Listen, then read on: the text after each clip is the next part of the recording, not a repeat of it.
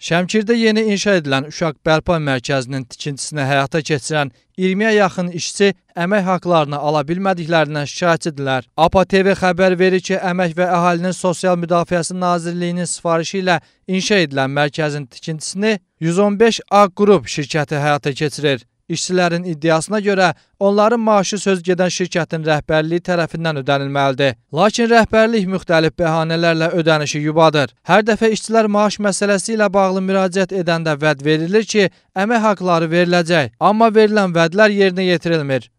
Burada fəal işləmişəm mən 3 ay yarım. Mən təzə işə girəndə bizə dedilər ki, yəni pulunuzda problem olmayacaq. Yəni vaxtı vaxtında ola bilər 5 gün işin gecikər, ancaq pulumuz batmayacaq.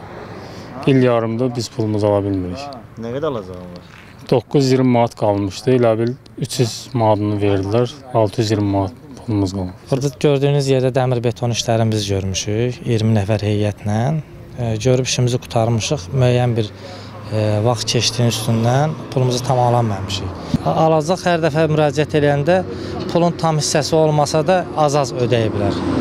Yəni işin Nə qədər alacağınız var? 5200 manat alacağım qalıb, ə, hələ onu tam almamışam. Onu da müraciət etmişik. Vurğulayıblar ki, köçürməmiz olsun, sənin pulunu tam ödəyəcəyik. İnşası 2020-ci ilin fevralında başlanan Uşaq Bərpa Mərkəzində tikinti işləri bu ilin iyul ayına qədər fasilələrlə görülüb. Pulun verilməməsinə görə hazırda ərazidə işlər tam dayanıb. Tikintidə çalışanlar bildirirlər ki, əmək haqlarını vaxtında almadıqlarına görə qaldıqları evin kirayəsini və inşaat malları mağazasına olan borclarını ödəyə bilmirlər. Biz problemimiz odur ki, burada hörgü işi, subaq işi, maliyar işi, kafel, metlaq, bu fasadı gözü şey, astarın vurmuşuq, araqatın vurmuşuq, boyasını saxlamışıq. Bizim pulu vermədiklərinə görə belə yarımçıq qalıb bura. Bir il 8 aydır ki, bugün, sabah, sabah, bugün, bugün, sabah indi nömrələrimizi vəbşə açmırlar. Ofisə gedirik, iki yoldaşdır, Arazdan o birisi yoldaşdır. O deyir ki, pul o birisindədir, o birisi yoldaş yanına gedirik, deyir ki, Arazdadır. Amma belə deyək də, 115 A qrupa pul köçüb, amma bizim pulu vermirlər. O 4 ayda işləyiblər burada.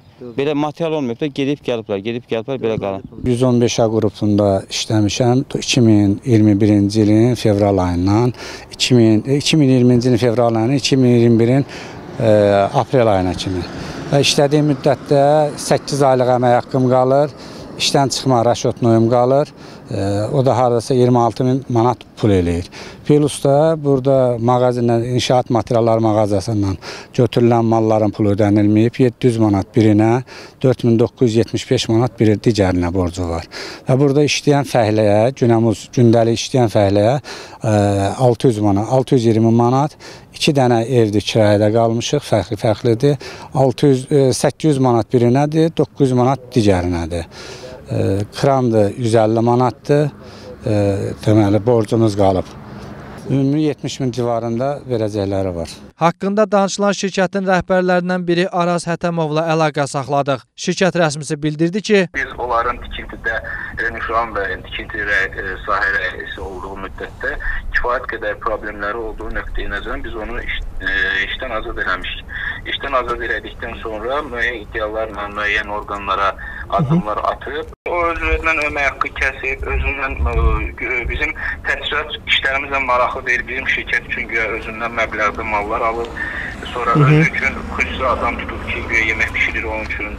Yəni bu məsələlərlə bağlı heç bir razılıq olmadan ə, bu, bu işlərlə bağlı şantaj tipli sənədlərlə qarşımıza çıxır. Problemlə bağlı Əmək və Əhalinin Sosial Müdafiəsi Nazirliyinin tabeliyində fəaliyyət göstərən Dövlət Tibbi Sosial Ekspertiza və Reabilitasiya Agentliyinin İctimaiyyətlə Əlaqələr Şöbəsinin müdiri Tural Qurbanovla əlaqə saxladıq. Qurum rəsmisi dedi ki, nazirlik həmin binanın tikintisi ilə bağlı tender keçirib və qalib STT Qrup Azərbaycan şirkəti olub. Həmin şirkət isə tikinti işini 115 A Qrup şirkətinə həvalə edib. Tural Qurbanovun sözlərinə görə nazirlik baş podratçı şirkət olan STT Qrup Azərbaycan qarşısında bütün öhdəliklərini yerinə yetirib. Məsələ belədir də, yəni nazirlik tender elan eləyir. Hansı bir şirkət o tenderi qalib gəlirsə, o başlayır həmən tikintini aparmağa. Yəni biz o tikintidə kimləri cəlb edirlər, e, kim işləyir, kim işləmir, kim pulun verirlər. Yəni o bizim nazirin səlahiyyətində olan bir məsələ deyil axı.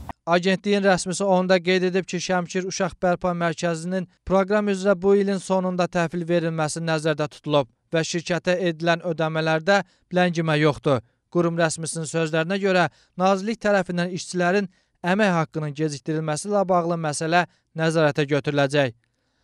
Fuad Nazımoğlu, Fuad Sadıqov, Mehdi Məmmədov, APA TV, Şəmkir.